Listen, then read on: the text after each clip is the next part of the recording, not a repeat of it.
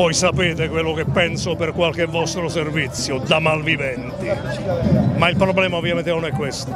Pieno rispetto per la libertà del mondo della stampa, ma il problema è che a quei ragazzi, quelli adulti, i dirigenti veri, non hanno saputo trasmettere in maniera rigorosa i valori della tolleranza, dell'antifascismo. È una vicenda che fa venire fuori una sostanza.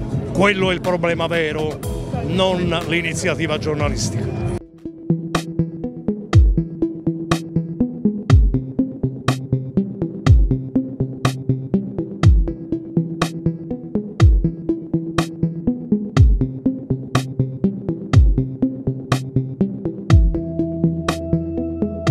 chiedo se ha visto le immagini della nostra inchiesta sulla giovanile di Fratelli d'Italia, quei bracci tesi, Sigail, frasi antisemite, che effetto le ha fatto?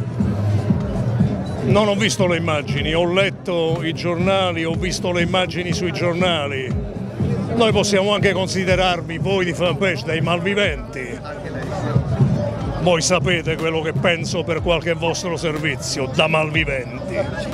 Ma il problema ovviamente non è questo pieno rispetto per la libertà del mondo della stampa, il problema è la sostanza, problema non è rompere il termometro che segnala la febbre, ma vedere di guarire dalla febbre o in qualche caso dall'epidemia. La tragedia vera è che a quei ragazzi, che io non voglio neanche colpevolizzare più di tanto, alla fine sono adolescenti che non hanno il senso della vita, ma il problema è che a quei ragazzi, quelli adulti, i dirigenti veri non hanno saputo trasmettere in maniera rigorosa i valori della tolleranza, dell'antifascismo, della lotta al razzismo. Quando abbiamo celebrato Matteotti ho ascoltato parole talmente ipocrite e ambigue che mi sono indignato.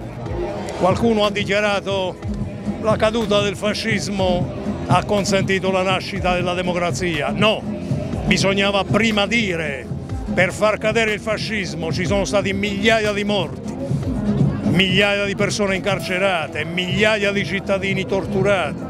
Abbiamo dovuto conoscere la vergogna delle leggi razziali, che è una vergogna incancellabile. Beh, così si educano anche i giovani, parlando chiaro, e operando rotture anche con la propria storia in maniera decisa, senza opportunismi e senza equivoci. Allora è una vicenda che fa venire fuori una sostanza, quello è il problema vero, non l'iniziativa giornalistica.